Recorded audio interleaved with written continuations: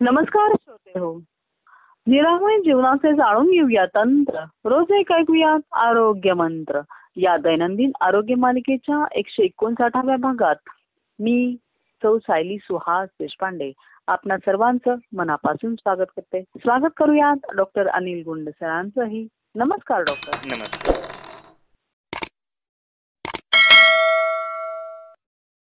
Doctor आपण जसं कालच्या भागात बकोळ पाहिलं तसं अनपेक्षित प्रश्न आलाय आजचा सुद्धा.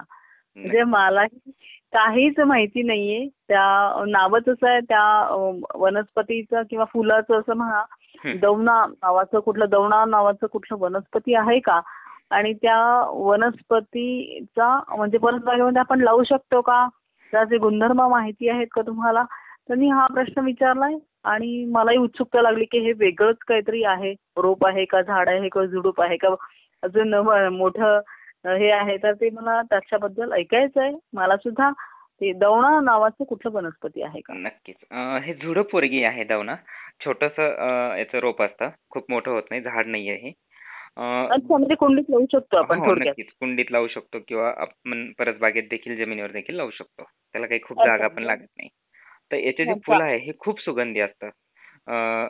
आणि हे अं, आपली जे वेणीत आपण माळ घालतो त्यामध्ये देखील याच्या फुलांच्या माळा वापरतात.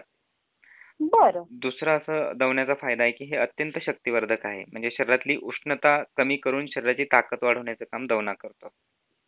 आता बरं. बऱ्याच जणांना उष्णतेचा त्रास असल्यामुळे डोळ्यांची आग होते किंवा हातापायांची आग होत असते आणि सतत अंग गरम लागत असतं.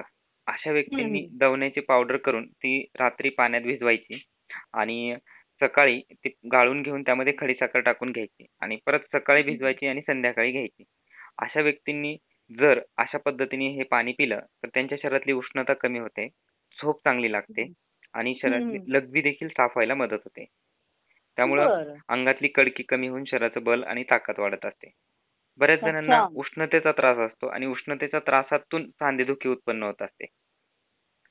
किंवा हो. त्यांना उष्णतेमुळे पोट साफ होत नाही आणि सांधेदुखी होत असते अशा बरं. व्यक्तींनी दवण्याचं चूर्ण कोमट पाण्यासोबत घेतलं तर त्यांचं पोट साफ होतं लघवी साफ होते आणि त्याचा परिणाम म्हणून सांधेदुखी जी आहे किंवा अंगदुखी जी आहे ती कमी व्हायला मदत होते अच्छा स्त्रियांच्या. बाबतीत ज्या गर्भाशयाच्या तक्रारी आहेत म्हणजे मासिक पाळी अनियमित असणं किंवा अंगावून व्य- कमी जाणं किंवा खूप जास्त जाणं अशा स्त्रियांनी जर दवना चूर्ण आणि तिळतेल एकत्र करून अं, कोमट पाण्यासोबत घेतलं तर गर्भाशया संबंधित ज्या तक्रारी आहेत त्या कमी व्हायला लागतात बरं काल आपण बकुळीच्या बाबतीत पाहिलं हलणारे जे दात आहेत त्यामध्ये आपण बकुळीचे साल वापरतो किंवा चूर्ण वापरतो त्यांनी दात घट्ट होतात हम्म.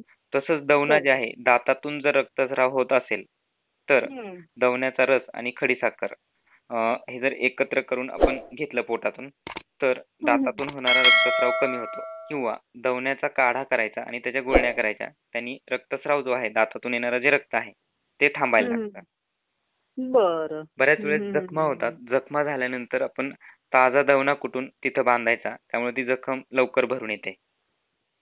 अच्छा. म्हणजे थोडक्यात शरीरातली उष्णता कमी करणं आणि उष्णता कमी करून इतर जे काही त्रास दिसतात दिसतात आपल्या शरीरामध्ये जसं उष्णता वाढल्यामुळे झोप येत नाहीये अंग दुखणं आहे किंवा हातापायांची आग हम्म. होणं आहे डोळ्यांची आग होणं आहे आणि अलीकडच्या काळात आपण पाहतोय असे लक्षणं खूप जणांना दिसतात. हम्म, हम्म, हम्म, अशा हम्म. व्यक्तींनी जर परत बागेमध्ये दवना लावलं आणि त्याचा या पद्धतीने उपयोग वैद्यांच्या सल्ल्याने करून घेतला तर ते त्यांना खूप खूप फायद्याचं ठरेल. अगदी अगदी. मला माहिती नव्हतं डॉक्टर. हा म्हणजे हे वनस्पती झुडूप आहे छोट्या कुंडीत लावू शकतो तर जरूर लावेल मी सुद्धा. आणि सगळ्यांना आपण सांगतोच आहोत प्रत्येकाने लावावं त्यांच्या परि- परसबागेमध्ये. आणि याचा उपयोग आपल्या निरामय जीवनासाठी जरूर करून घ्यावा. नक्कीच नक्कीच. ज्या श्रोत्यांनी विचारलं त्यांचा मनापासून आभार कारण की वेगळा प्रश्न वेगळं नाव आणि वेगळे गुणधर्म सगळंच आज वेगळं बघायला मिळालं. मनापासून. अलीकडे जे काही शरीरातली उष्णता वाढल्यामुळे व्हिटॅमिनची डिफिशियन्सी वगैरे दिसते. तर त्यामध्ये. आपल्याला हा दवना खूप चांगल्या पद्धतीने वापर करता येईल. कारण की तो उष्णता कमी करून शक्तिवर्धक आहे. म्हणजे थोडक्यात शरीराची जी गरज आहे ज्या घटकांची गरज आहे ते घटक यामध्ये नक्कीच असायला पाहिजे. ज्या त्यामुळेच तो शरीराचं बल वाढवतो. अच्छा. बरोबर आहे डॉक्टर आणि खरंच ना हा माहिती नसलेला भाग किंवा माहिती नसलेली वनस्पती आज सगळ्यांना माहिती झाली असं मला तरी वाटतं. की कारण की हे कमी लोकांना माहिती असेल असं माझा अंदाज आहे. बरोबर. माहिती मी तरी ज्यांना माहिती नसेल तर त्यांना माहिती कळालीच आणि ज्यांना माहिती असेल तर त्यांना त्याचे गुणधर्म कळाले दोन्ही महत्त्वाच्या गोष्टी कळाल्या. मनापासून आभार डॉक्टर. आणि श्रोते हो तुम्हालाही आणखी काही प्रश्न विचारायचे असतील तर जरूर विचारा. डॉक्टर अनिल गुंडांचा क्रमांक सांगते. त्यांचा क्रमांक आहे अठ्ठ्याण्णव नव्वद सत्याऐंशी चौवेचाळीस चौऱ्याण्णव. पुन्हा एकदा सांगते अठ्ठ्याण्णव नव्वद सत्याऐंशी चौवेचाळीस चौऱ्याण्णव. आणि मी साडी देशपांडे. माझा क्रमांक सांगते चौऱ्याण्णव वीस पंच्याण्णव एकोणचाळीस चोवीस. पुन्हा एकदा सांगते चौऱ्याण्णव वीस पंच्याण्णव एकोणचाळीस चोवीस. थांबते इथेच. येते पुन्हा नव्यानं नवीन प्रश्नासोबत. तोपर्यंत निरोप द्या. धन्यवाद डॉक्टर. धन्यवाद.